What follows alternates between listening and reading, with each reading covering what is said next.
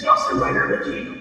Hey YouTube, Dosm Rider here, and welcome to my review for the Deluxe Animus Megazord from Power Rangers Wild Force as part of my retro review series. It's actually really funny, I can't believe I didn't realize that I never did one of these for the retro review series. I still have Predazord and then Ultimus to do, but I have this one here ready. Um, as usual, I'm missing pieces from things. Mainly, like, the most important thing I'm missing is the little horns that go with this. Um, for the Megazord mode specifically, you can notice that I feel more because it goes up above the chest. Actually, I'm kind of used to it not having it, but I am missing that.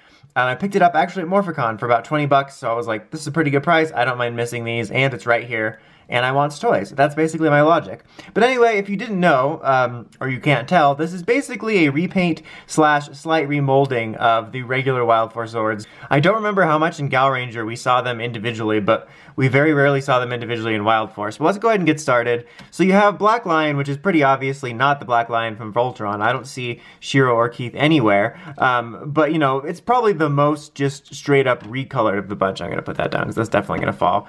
Um, just rather than being, you know, the red and gold, you have black, and then this sort of, I'm not even sure how to describe this. It's like a kind of brown, but not. It's weird. Like, it kind of works, and I do kind of dig it, because I'm kind of a fan of, like, the black repaint Zords, because they always look really sleek, but I almost kind of wish they would have kept, like, this gold for this. I think it would have looked even cooler, but it works, like, especially once it's together.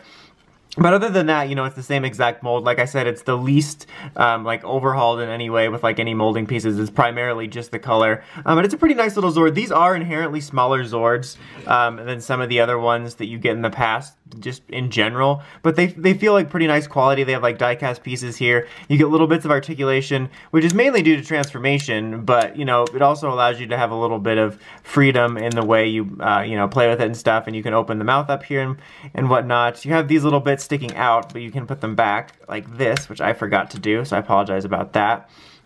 Um, and then the tail here, you can move a little bit and stuff like that. So yeah, he overall looks pretty good. I think these Wild Zords in general look pretty good individually.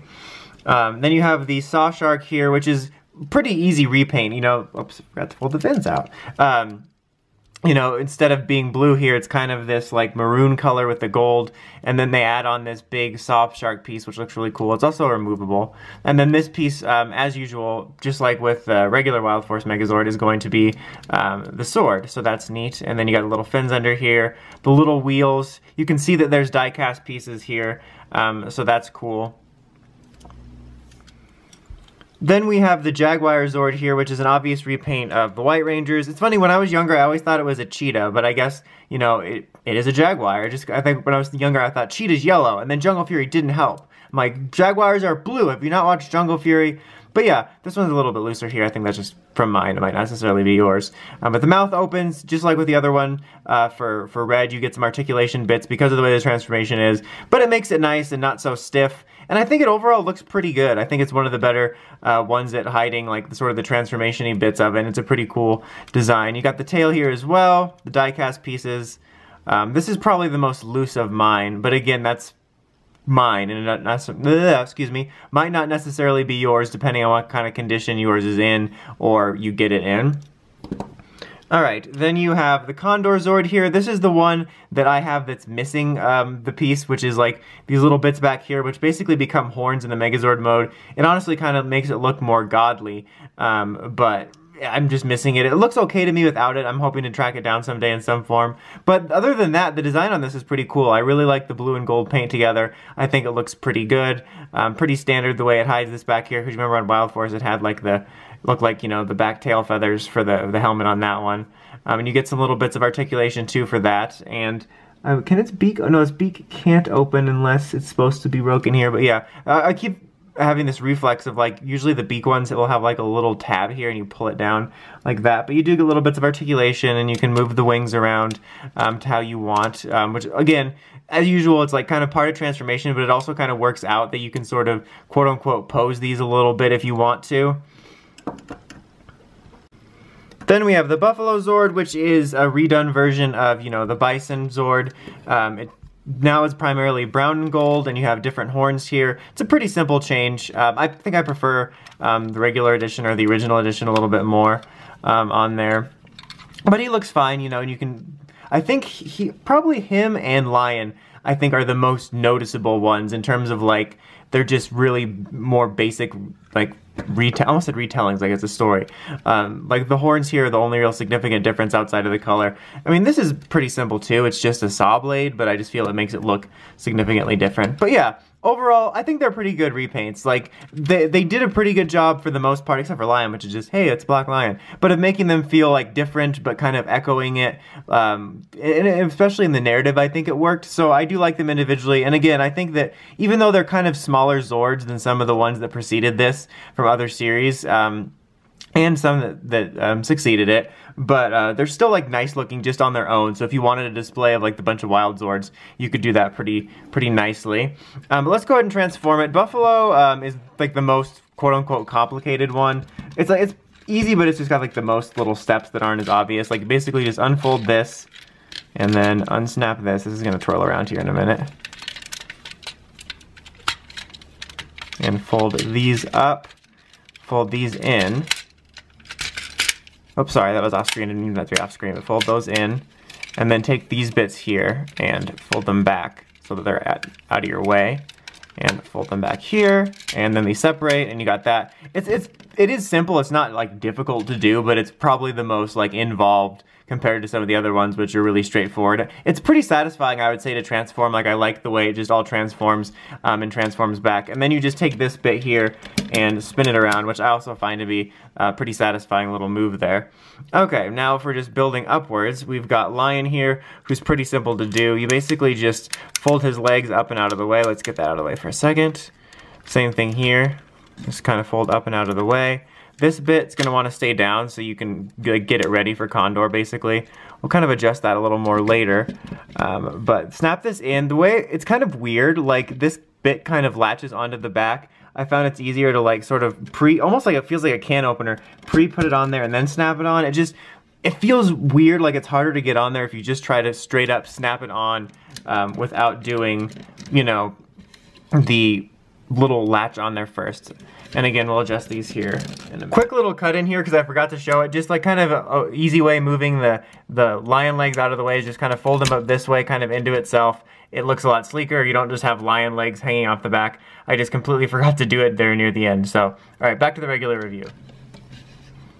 Okay, now the arms are pretty simple for these. You just basically are gonna wanna put these legs away. Like these are gonna fold, let me get this to focus on it right here. There we go. These are just gonna fold right in and then they kind of like snap in too and fold out of the way. Like they're kind of out when it's in animal mode so you can get a little bit more posing and stuff. It looks more natural. But then once you fold them in, they kind of snap in.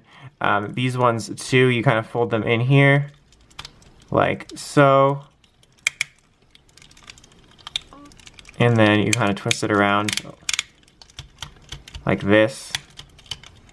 And we're gonna get the, the tail out of the way. And then twist this kind of align these together a little bit.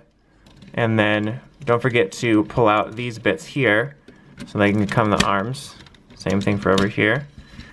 And then shark's even easier. Just take this bit off because it's going to become the sword.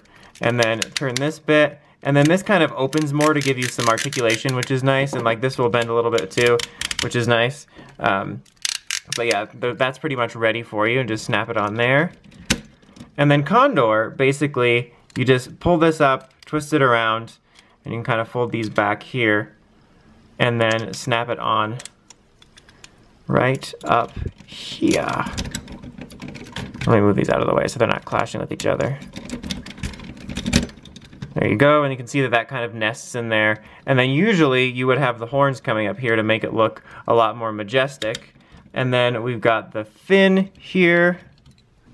Okay, that's good enough kind of adjust these a bit. But then there you pretty much have the Animus Megazord, and you could, it actually looks a little bit different. I mean, obviously it looks different than the Wild Force Megazord, but I feel like the head sculpt in particular stands out a little bit, and the way that the eagle's used um, is different, which is neat, and it kind of makes it seem um, more different. Again, I've always liked this design.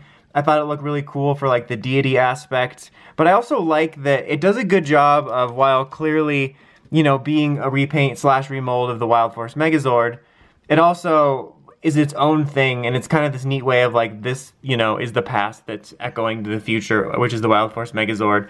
And it just, I don't know, I always thought it was neat. It's got a really cool design. It does look a little bit neater with the horns on there because, like, again, I feel it makes it look more like a deity Megazord type deal. Um, but I'm kind of fine without it again. I'll probably track it down one day, so I apologize I don't have that part.